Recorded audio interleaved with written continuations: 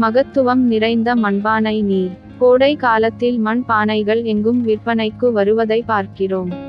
குளிர்ந்த தண்ணீர் விரும்பும் சாமானியர்களுக்கும் மண்பானைகள் ஏற்றது.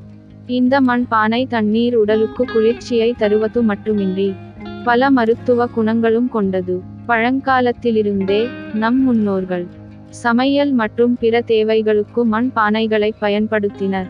முதன்மையாக கஷாயம் போன்ற மருந்து பொருட்களை தயாரிக்க மண் பானைகள் பயன்படுத்தப்பட்டன. குளிர்சாதன பெட்டி தண்ணீர் ஆரோக்கியமற்றது. இது உங்கள் தாக்கத்தையும் தணிக்காது. எனவே இப்போது பலர் குளிர்ந்த நீருக்கு மண் பானைகளை பயன்படுத்துகின்றனர். மண் பானை நீர் தாக்கத்தை தணிப்பது மட்டுமின்றி உடலின் பல நோய்களை குணப்படுத்தும். உங்கள் உடலுக்கு நல்லது.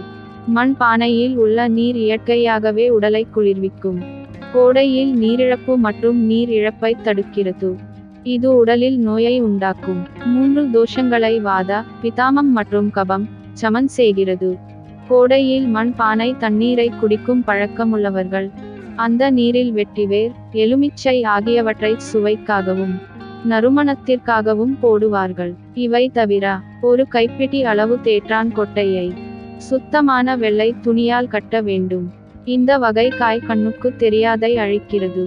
நுண்ணுயிரிகள் மற்றும் தண்ணீரை சுத்திகரிக்கின்றன. வாரத்திற்கு ஒருமுறை அல்லது தண்ணீரை மாற்றும் போது புதிய தேற்றான் கொட்டையை சேர்க்கவும். குளிர்ந்த நீருக்கு மண் பானைகளை பயன்படுத்துபவர்கள்.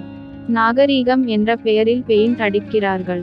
பானையின் உட்புறத்தில் சிலவற்றையும் வண்ணம் தீட்டவும். இதை செய்யும்போது அழகாக தோன்றலாம். இருப்பினும் ஒரு வண்ணம் பானை இதற்கு உதவாது. மேலும் பானையின் வெளிப்புறத்தில் உள்ள கண்ணுக்கு தெரியாத சிறிய துளைகளும் தண்ணீர் வெளியேறுவதை தடுக்கின்றன. மண் பானைகளில் உள்ள நீரால் ஏற்படும் சிறு சிறு பிரச்சனைகளை சரி செய்கிறது. மண்பானையில் குடிநீரை ஊற்றி வைத்து இரண்டு மணி நேரம் முதல் ஐந்து மணி நேரம் வைத்திருந்தால் அந்த தண்ணீரில் உள்ள மாசு பொருள்கள் பலவற்றையும் மண்பானை உறிஞ்சிவிடும்.